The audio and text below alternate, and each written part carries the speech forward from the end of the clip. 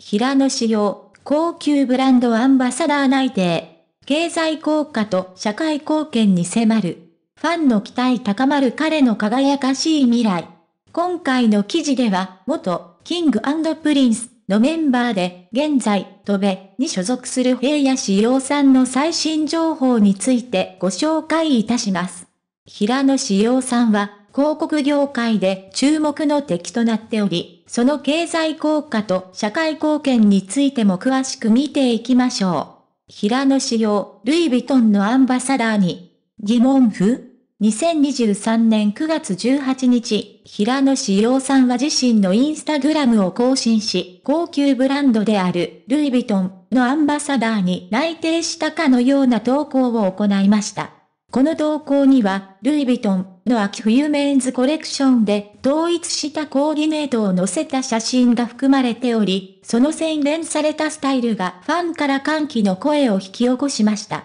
この特集記事によれば、平野志陽さんはショートスリーブデニムワークウェアシャツ、デニムカーペンターショーツ、モノグラムフラワーストッパーコットンフーディ、そして S ロックベルティカルウェアラブルウォレットなどを着用し、その合計金額が93万円を超えているとのことです。この投稿を受け、多くのファンが同じ商品を購入しようとした結果、公式サイトでは一時的にページが見つかりません。と表示されるアイテムが出るほどの反響を呼び起こしました。平野志陽さんの影響力がいかに大きいかが伺えます。また、9月28日に発売されたファッション誌、エルジャパン、エルジャポンでは、平野志陽特別版と題した特集記事を掲載すると発表され、予約サイトではほぼ即完売となりました。さらに、紙面でも平野志陽さんは憧れていたブランドである、ルイ・ヴィトンを着用し、その最新コレクションに身を包んでいることも判明しました。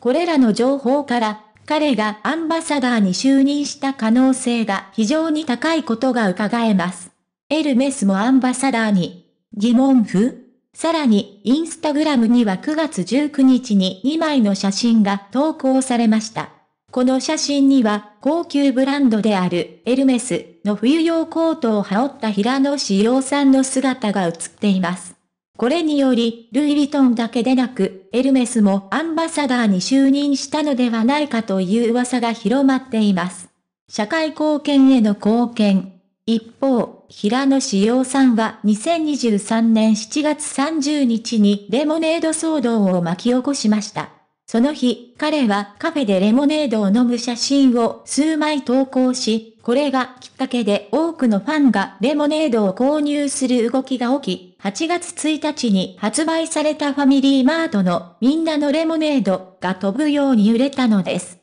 実は、この商品は小児がん啓発を行う団体、一般社団法人みんなのレモネードの会とのコラボレーションによって生まれたもので、売上の一部が小児がん患者の子供たちを応援するために寄付される仕組みとなっています。平野志陽さんの投稿は社会貢献に大きな貢献を果たし、多くの人々に感銘を与えたのです。彼の経済効果だけでなく、社会貢献にも大きな影響を与える存在と言えるでしょう。ジャニーズ事務所からの早い退社、クリーンなイメージ。平野志陽さんは、ジャニーズ事務所から早々に退社し、クリーンなイメージがあるアーティストとして知られています。その魅力は多岐にわたり、広告業界で彼を起用することは、ブランドにとって非常に魅力的な選択であることは間違いありません。平野志陽さんは、広告業界において非常に注目されているタレントであり、その経済効果や社会貢献によってますますその存在感を際立たせています。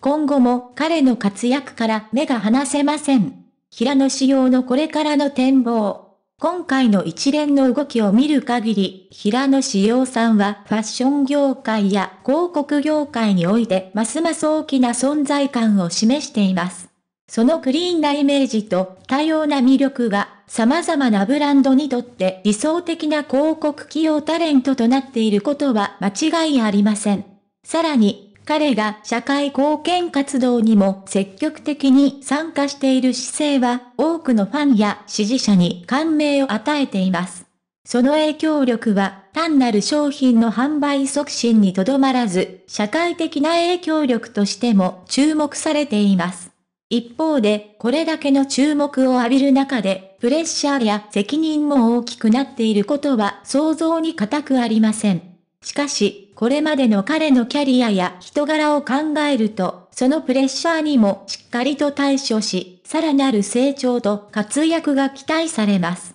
ファンからも今後の彼のさらなる活躍に期待が寄せられています。彼の才能と人格に触れた多くの人々は、彼のこれからのキャリアがますます輝かしいものになることを信じています。平野志陽さんの今後の動向には、ますます注目が集まることでしょう。彼の広告起用や社会貢献への積極的な姿勢は、今後も多くの人々に影響を与え続けることでしょう。最後に、彼の今後の活躍と成功を心より願っています。平野志陽さんの輝かしい未来に期待が高まるばかりです。以上、平野志陽さんの最新情報についてお伝えしました。今後の彼の動向についてのさらなる情報が入り次第、随時お伝えしていきます。お楽しみに。